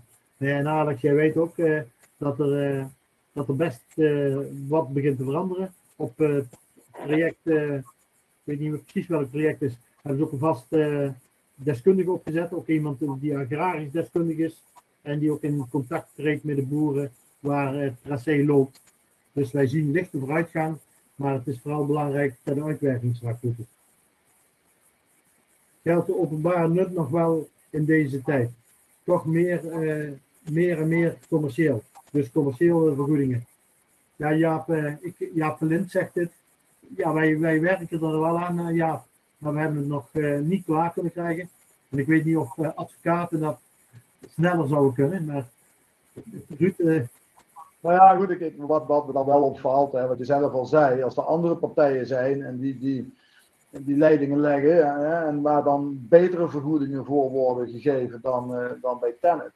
Dat kun je natuurlijk wel gebruiken, ook in, in, het kader van de onderhandelingen met Tenet. Om aan te geven van ja, die vergoedingen die jullie uh, bieden, die zijn niet meer van deze tijd. Want andere partijen die een commercieel belang hebben. En in feite is dat bij Tenet natuurlijk net zo. Dat, dat, dat, dat zei je zelf ook wel. Ik bedoel, er komen windturbines die, eh, die moeten zorgen dat die stroom geleverd wordt. Eh, dus ja, de tijd zeg maar dat het niet meer commercieel was, die is wel voorbij. Dan kun je denk ik wel gebruik maken van de kennis die je, die je, die je krijgt nu van andere partijen die, die betere vergoedingen leveren, weliswaar voor andere leidingen. Maar ja, ik denk dat je dat wel kunt gebruiken bij je, bij je onderhandelingen met Tennet, ja. Daar zijn we ook zeker mee bezig. Maar omdat uh, Tennet van algemene nut is, zoals dit nog altijd staat, is het wel belangrijk, moet je wel economische zaken meekrijgen. Nou ja, ja. Uh, nog een vraag die binnenkomt. Nou, nog of, of die met terugwerkende kracht uh, veranderen. Daarom zit het tweede, het tweede onderwerp, wat ik ook heel sterk in had zit, niet voor, voor onbepaalde tijd hebben we erin staan. Uh, tussentijd veranderen ja, kijk ook nog maar een keer naar Ruud, maar dat zal, die zal best moeilijk lopen.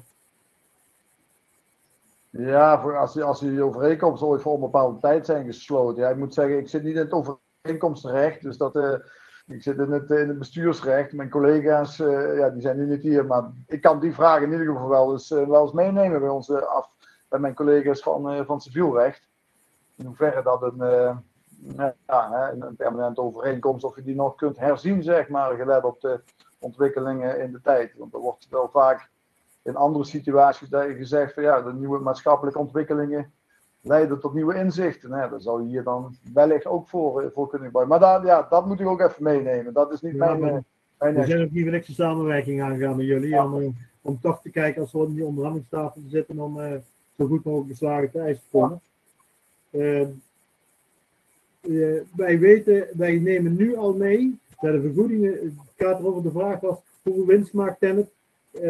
Tennet, vergoedingen deel, deel van de winst als extraatje. Wij zullen er nu, staan we er al op in die zakelijke rechtovereenkomsten, bij de bedrijfsschade uh, in zijn totaliteit van het bedrijf in de volle breedte vergoed wordt.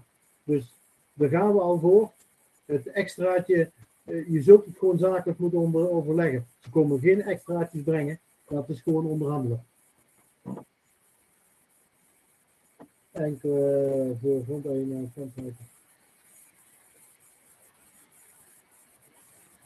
Uh, ja, dat weet ik niet. Ja, op het dat, uh, lijkt er namelijk op dat ten elders in Nederland enkele grondeigenaren uh, met kansrijke zaken enorm aan het vertragen is. Ten hier de grondpositie rond heeft kan ik geen, geen goed antwoord op geven op deze vraag. Nou, rechtszaken, die lopen zoals ze lopen bij de rechter. En vertragingen bij rechters, die zullen wel voorkomen op het moment. Want uh, de rechtsgang is niet meer heel snel, of wel goed?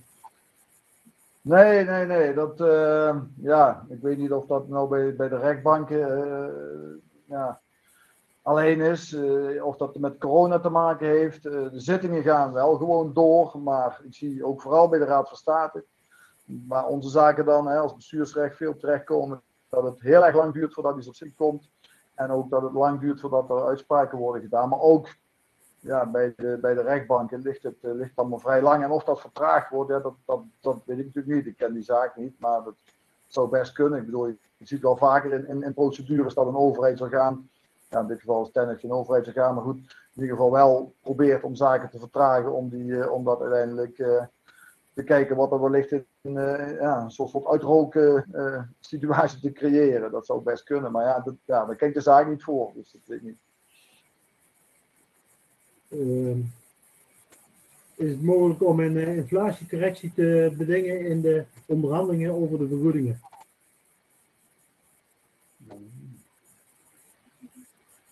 Wordt er naar mij gekeken of kijken we naar jullie? Zo ja, ik denk dat die inflatiecorrectie, ja, naar mij moet dat moet uit de belemmeringenwet privaatrecht blijken, want daar wordt heel veel aan opgehangen natuurlijk. Hè, die, die, speciaal aan het leven geroepen voor dit soort, uh, voor, dit soort projecten. En ik weet niet of daar een mogelijkheid in zit uh, in die bepalingen om daar een soort inflatiecorrectie voor, uh, voor toe te passen. Maar dat is wel een goede vraag. Dus die, die zullen we zeker meenemen. Dus, nou. Die is trouwens wat minder relevant in het kader van de zienswijze. Die is met name natuurlijk relevant in het kader van de onderhandelingen die er gevoerd gaan worden. Het gaat over de vergoedingen. Ja, maar ik heb begrepen dat hier zijn uh, mensen bij die al wat vaker met het bijltje gehakt hebben rondom leidingen. Um, en deze vragen die herken ik ook wel. En daar proberen we ook wel op, op te werken. Maar dit, uh -huh. dit, gaat, en dat is ook heel duidelijk voor deze avond. Uh, nu is het de avond voor de zienswijzes. Het eerste, de eerste reactie geven op de leiding, uh, het bestemmingsplan dat in jouw omgeving komt. En dan kom je in echt een andere fase uit als je op je bedrijf benaderd wordt uh, om mee te werken aan die, aan die leidingen. Want dan zit je in, uh, in, op het moment dat je deskundige des, in kunt huren en dat je ook gewoon zakelijk met tenant om moet gaan. En we, hadden we hebben echt gemeente als Settle Joe. In dat stuk zitten, zijn, we, zitten, zijn best goed thuis. We hebben ook veel deskundigen.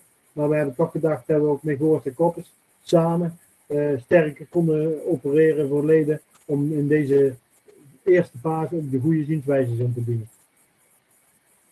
Uh, Jaap uh, van Lint heeft nog een vraag voorheen had ZLTO.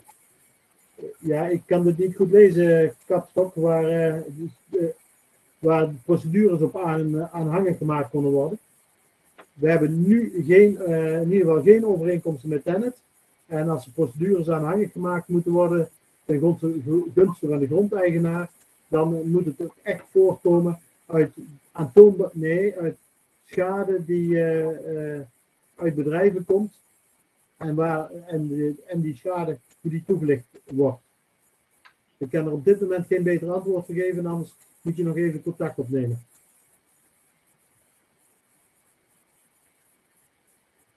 Deze is wel iets voor jou, Ruud, nog. Geest te gauwen, die vraag. Ja. Ja, moet je persoonlijk gesprek met Tennet aanvragen voordat je een zienswijze indient. Uh, nou ja, die zienswijzefase die loopt tot en met 27 januari. En ja, je moet wel een zienswijze indienen uiteindelijk om, om, om verder te komen. Ja, daar is nog wel een discussie over gelet op wat recente uitspraak, maar ik zou dus in ieder geval, het gesprek is niet nodig om een, uh, om een zienswijze in te dienen. Het is niet verkeerd om een gesprek aan te gaan, maar zorg dan toch in ieder geval om die rechten veilig te stellen door, een, uh, door in ieder geval een zienswijze in te dienen.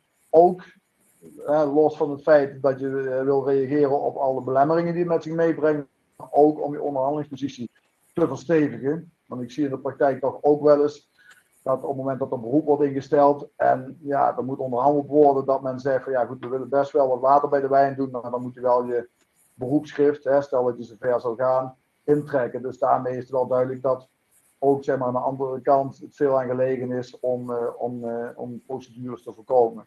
Dus, maar dan verstevig je daarmee wel je onderhandelingspositie.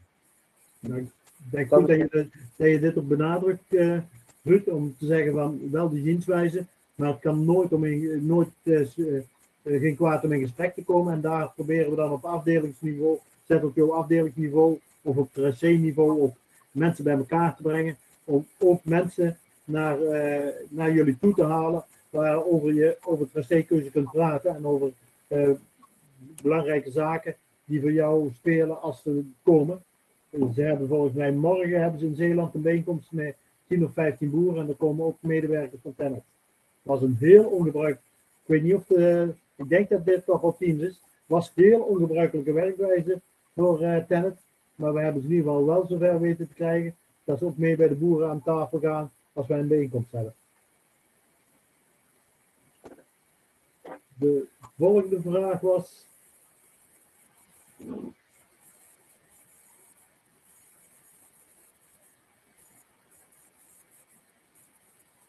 Ja, ik denk dat het, uh, dit gaat ook weer in die volgende fase, want we moeten deze avond dus niet, niet vermengen met dienstwijze indienen en het onderhandelen over, uh, over uh, overeenkomsten.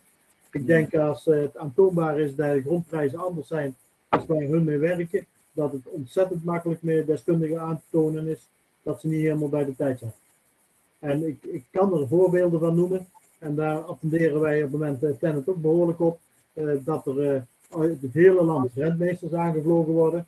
En dat die soms, die kunnen goed op de hoogte zijn over de prijs. Maar of ze willen of weten of onbelullig zijn, dat weet ik niet. Maar daar hebben we wel mensen op geattendeerd. Dat dat type rentmeesters de goede samenwerking niet ten goede komt. Okay. Ik zie dat er in ieder geval rondom de vragen, rondom zienswijzen en zo, dat die toch een beetje aan het opdrogen zijn. De meeste hebben we proberen te beantwoorden. Uh, we nemen ze ook mee. Uh, als er geen, even kijken of ik het goed doe, als er nu geen vragen meer bij komen, wil ik uh, toch naar anderhalf uur intensief met elkaar bezig zijn naar een afronding toe te gaan. ja, het is ik zie jullie niet en ik, had het liever met Teams en live gedaan, maar uh, ik hoop dat het erin voorzien heeft om jullie uh, allemaal mee te nemen in het tracé uh, dat aangelegd moet gaan worden en wat je rechten en plichten zijn. En dat je dus de komende tien dagen best snel moet handelen om de eerste zienswijzes in te richten. We zijn ook heel blij dat Goors en Koppers vandaag ook met drie mensen aanwezig is en ook een speciaal mailadres geopend heeft om dit zo snel mogelijk te regelen. Want in tien dagen zien ze zoveel dienstwijzes indienen. Dat vraagt ook enige inspanning. Maar ik ben ook blij dat we een bedrijf aangetroffen hebben die zeggen van binnen twee uur antwoorden we. Hè. Dus uh, dat, dat, wel, dat, dat, loopt wel goed. Dit is een van de bijeenkomsten. Hij voorziet blijkbaar toch erg in behoefte met de hoeveelheid mensen die aangehaakt zijn. Uh, waar vragen zijn, meld je bij, uh, bij ZLTO over het geheel. Belt je naar je relatiebeheerder. Maar als je de infolijn belt, leiden wij die door en waar behoefte aan is, komen wij naar jullie toe in het veld om ook bijeenkomsten te organiseren samen met de afdeling. Voor vanavond, uh, ja, ik denk dat ik in ieder geval de mensen van Goort en Koppers, uh, Annelies, Irene en, en Ruud moet bedanken. Ik Aniek, Aniek van de Veld, die jullie niet gezien heeft, maar die ons vanavond technisch hier doorheen geleid heeft, moet bedanken. En jullie bedankt voor, het, voor het deelnemen aan deze webinar. En tot een volgende keer. Ja. Tot ziens. Heel bedankt. Ja, dus tot ziens. Ik even blijven hangen.